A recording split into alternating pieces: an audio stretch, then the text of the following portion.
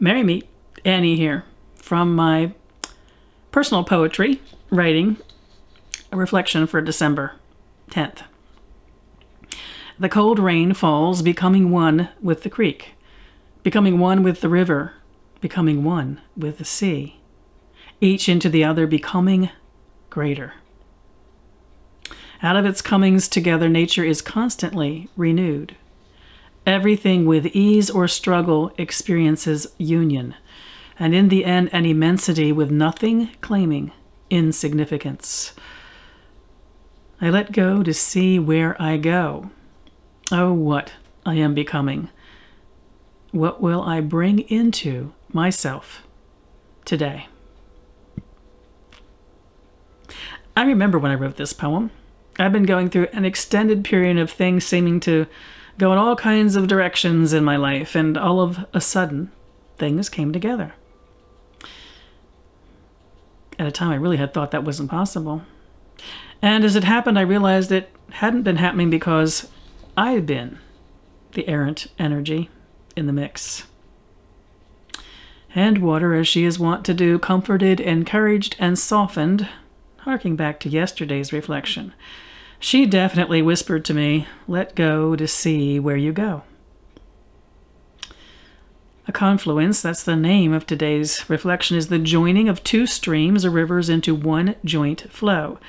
And it's also a psychological term that applies to aspects of the psyche coming together, and even aspects of various people coming together. I found this beautiful inspiration in a larger article, and the article is worth the read at Psychology Today. That's at psychologytoday.com. The article is by Bernard L. de Koven. It's entitled Confluence Being Together. I especially enjoy the article because confluence was something one of my earlier teachers taught as a practice. She, can, she said that we can stand at a riverside and watch it flow, or we can join the flow and that once we've joined the flow, it then joins other flows and other flows, one into the other. This paragraph from Bernard's article was, well, it's pure poetry to me. He wrote, I like to think of confluence naturally as a river and, of course, flow, well as a meeting of rivers and us. There are those of us just touching the river's edge, standing on the banks.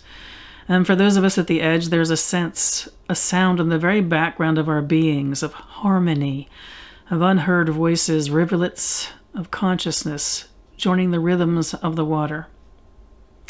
Connected by the merging rivers to those who have gone deeper to be moved together by the crossing currents until the sheer power of their collective presence washes away all fear all distinctions, all things that divide them one from themselves from the other. And they become so deeply immersed in the rivers and in each other's presence that it seems nothing is left of them but their laughter.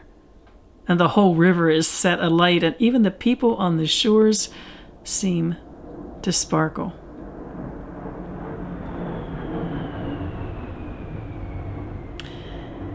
And as I do every year when I read this about confluence again, I think of one of my favorite chants and I chant it. The chant's Diane Hildebrand Hull's chant, The River's Flowing. Do you know the chant?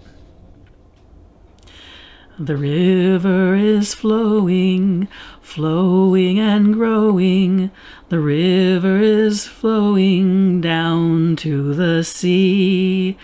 Oh, mother, carry me, your child I will always be. Oh, mother, carry me down to the sea. that chant's a bit of an earworm for me, so when I think of it and then I chant it, I will keep chanting it for days. Those of you who know that chant, it's probably going to happen to you now, isn't it? But that's okay. Let the waters, late in this season of water, borrowing again from Bernard, carry us away so that there is nothing left of us but our laughter. I wish you mirth and reverence in this season of Samhain. Merry part.